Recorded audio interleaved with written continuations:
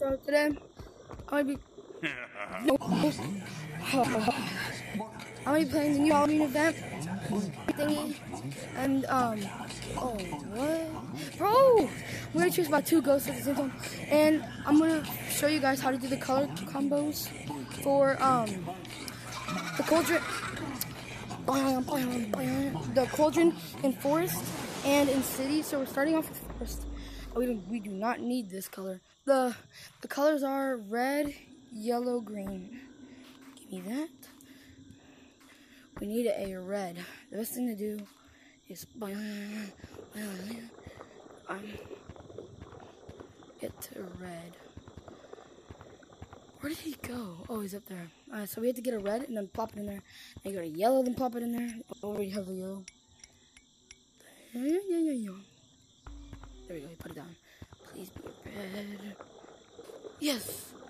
Okay, you got the red. So you want to put, just plop the red in there. Please. Okay. The red, yellow. That should be yellow.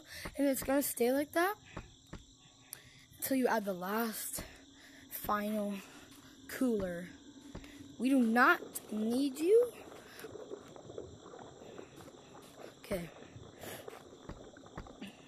Now a green one. And the color code is different for city and forest. City has more. No, it's the same amount. I don't know why I said blue though. You can't put blue. Ah.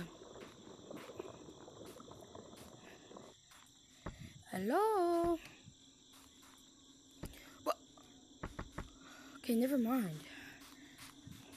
Do okay, there we go. So I'll be showing you how to do um the color code. This is only for forest, and part two will be on city.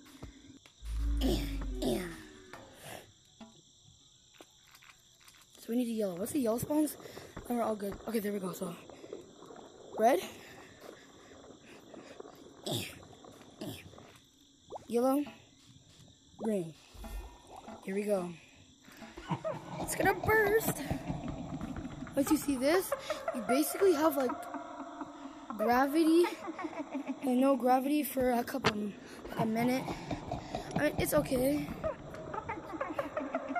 Pretty cool. Wee, wee. And if you lose it with this, it's hard. It's like pretty hard to lose.